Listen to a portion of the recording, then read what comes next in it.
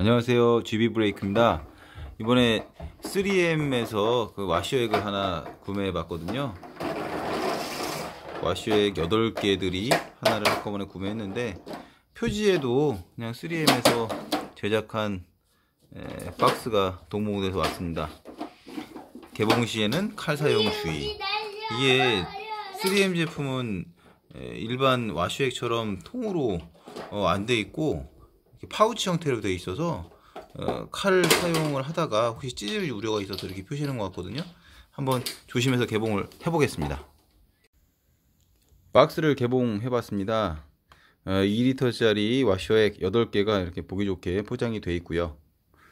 와셔액은 가장 자주 교환해주는 자동차 소모품 중에 하나입니다 그리고 이 와셔액 유리창을 통해서 이렇게 분사가 된 다음에 그 액상 그 냄새가 실내로 유입되는 경우도 있고 그렇기 때문에 좀 안 좋은 와셔액을 사용하게 되면 불쾌감을 느끼는 경우도 있습니다. 예전에는 에탄올이 아니라 메탄올 주성분으로 해서 이렇게 제품들이 만들어졌었는데 요즘에 이제 건강 문제, 환경 문제 이런 것으로 인해서 에탄올 워셔액들이 타사에서도 많이 나오고 있는 상황입니다. 그래서 여기 보시면 예, 뭐 메탄올 free 뭐 이렇게 돼 있고요.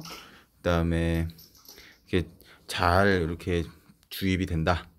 그리고 보관하기가 쉽다.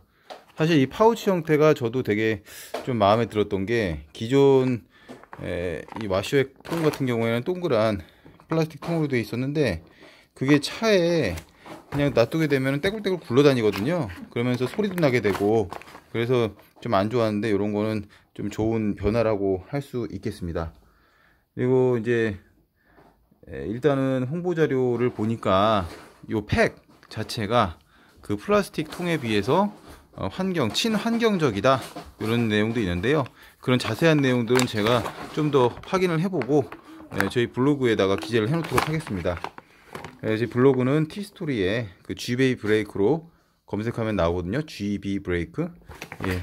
예, 동영상 보시고 관심 있으신 분들은 참고 부탁드리겠습니다. 그러면 제가 이 워셔액을 직접 차량에다가 예, 주입을 하고 그리고 이제 어떤 냄새가 나는지 기존의 예, 와셔액과는 어떤 차이가 있는지 한번 느껴보도록 하겠습니다.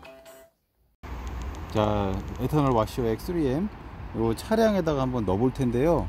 일단은 차 안에 남아있는 와셔액 아무리 와셔액이 이제 보충을 해야 한다래도 어, 좀 이제 에, 안에 있는 거 나머지를 다 제거한 다음에 넣어주는 게 좋거든요. 섞이면 안 되니까.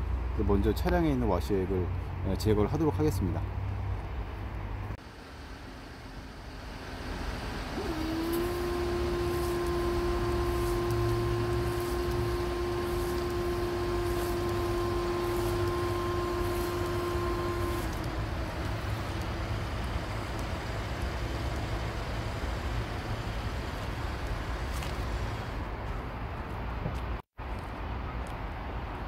자 이제 와시액 제거를 했고요. 안에다가 이제 와시액을 집어넣어 보겠습니다.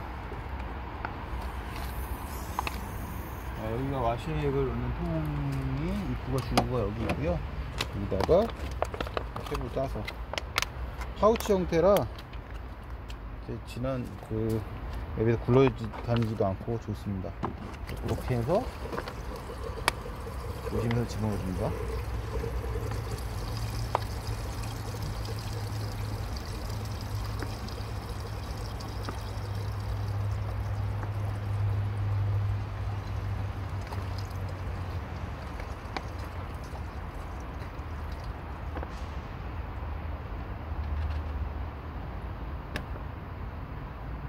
자, 다 넣었고요.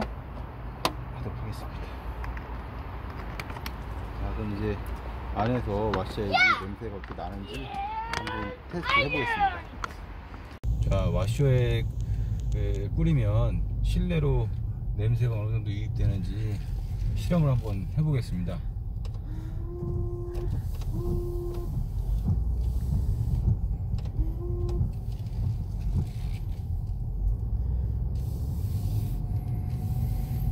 제가 보기엔 특별히 냄새가 안 나는 것 같은데 어떠세요? 아, 네, 저번 것보다는 확실히 안 나긴 해요. 음. 일단 술 냄새 같은 게 안 나네요. 네, 에탄올 냄새가 이제 에탄올 워시액 자체는 메탄올에 비해서 유독성이 없기 때문에 최근 들어서 많이 사용되고 있는데 에탄올 자체의 그 냄새가 좀 이제 독하기 때문에 예, 이제 사용을 하면서 좀 이제 문제가 좀 있었습니다. 근데 이 제품은 이제 그렇게 알코올 냄새가 많이 안 나는 걸로 확인이 됐습니다. 가격이 일반 다른 에탄올 와쇼액 비해서 브랜드가 없는 제품에 비해서 가격이 좀 나가긴 하는데 이 정도면 제 생각에는 뭐 구매해볼만 하는 것 같습니다. 네, 이상 생활탐구였습니다. GB브레이크였습니다. 감사합니다.